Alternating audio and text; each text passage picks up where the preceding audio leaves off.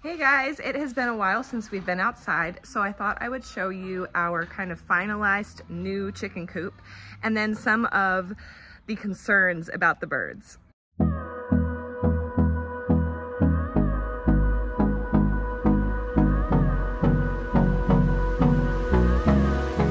Okay, so here is our finished coop. Uh, I probably could touch up and paint some places, but Juan added on this little outside portion so that the chickens can come out and walk down rather than like dropping through the floor of the coop.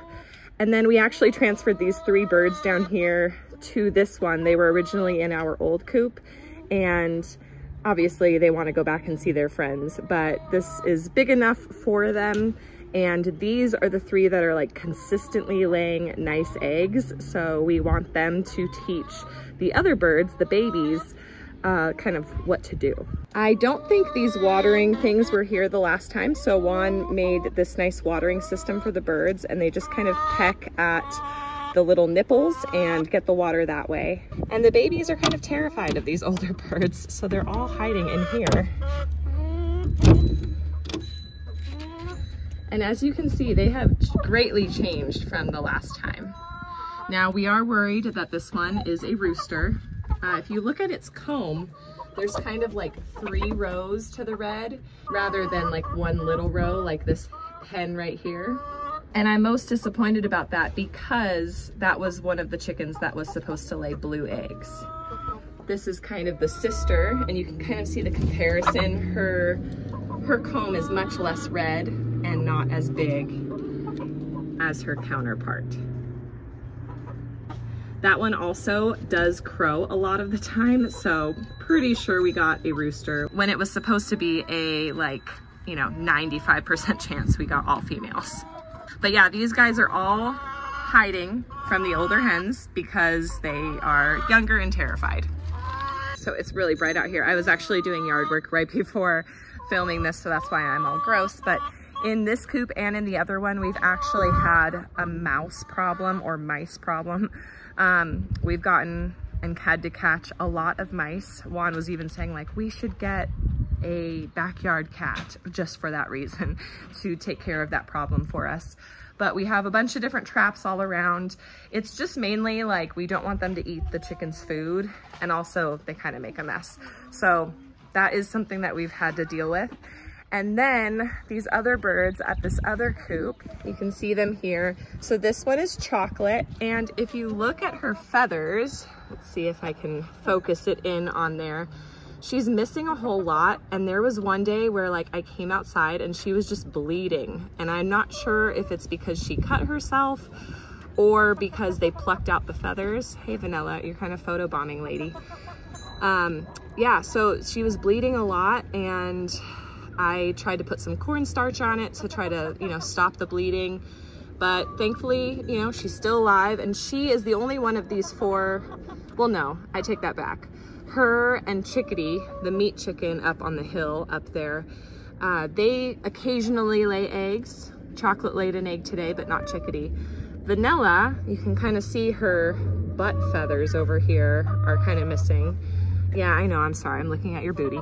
Um, she, I believe, is just putting all her energy to making new feathers, and that's why she hasn't been laying eggs. Same with cookies and cream right there. Uh, you know, she hasn't been laying very many eggs, and she's kind of missing a lot of feathers uh, on her neck as well.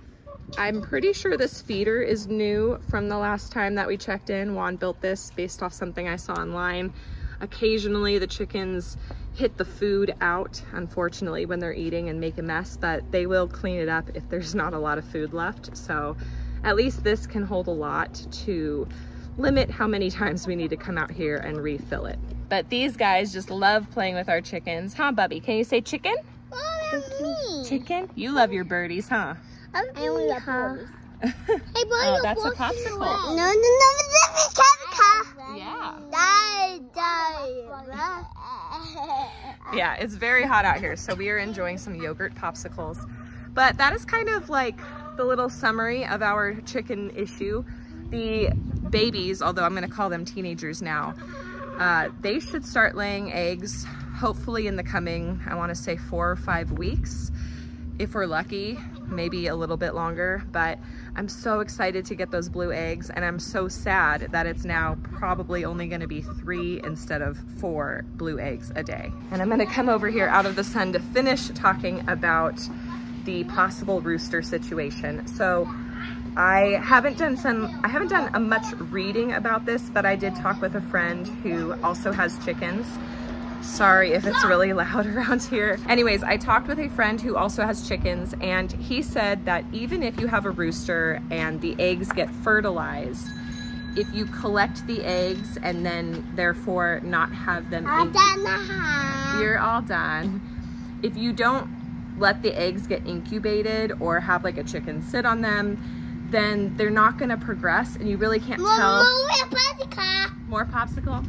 you can't really tell that the egg is fertilized anyways. So instead of turning useless junior into dinner or lunch, we may just keep the rooster.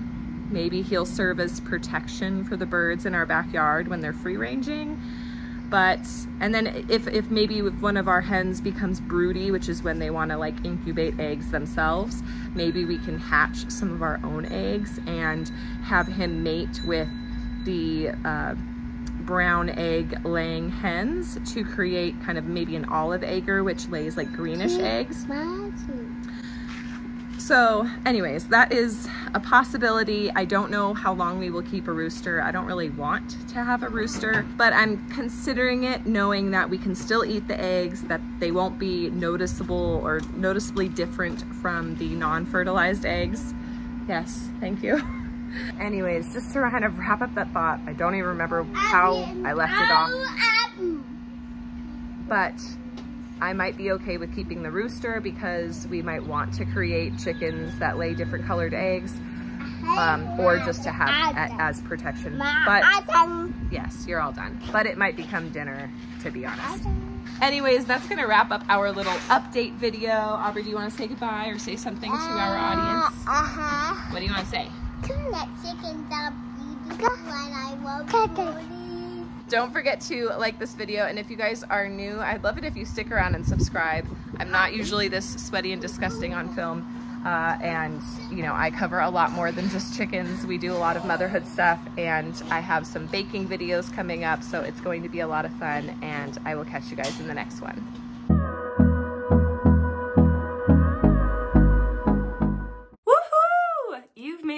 End of the video. If you didn't know already, every Monday and Friday, you can find motherhood and lifestyle content on this channel. And since us moms have to do it all, that may mean yummy recipes, easy DIYs, mom hacks, cleaning and organization, or just a combo of everything. Please know that you are loved and you are made for greatness, and I will catch you in the next one.